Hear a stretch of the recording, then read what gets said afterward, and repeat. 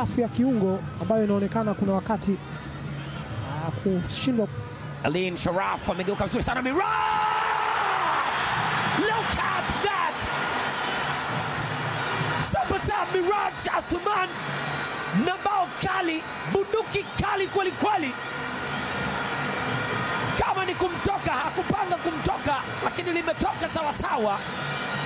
Akimwangalia mlinda mlango amekaa wapi, Shaban Kado. Ingizo jipya, mchezo wa pili, bao la pili, super sub Miraj Athumani. What a finish!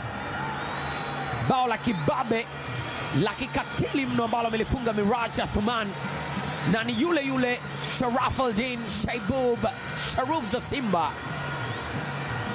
alichokifanya Miraji ni kufanya kile ambacho walinzi wote wa Mtibwa walishindwa kujua anafanya nini.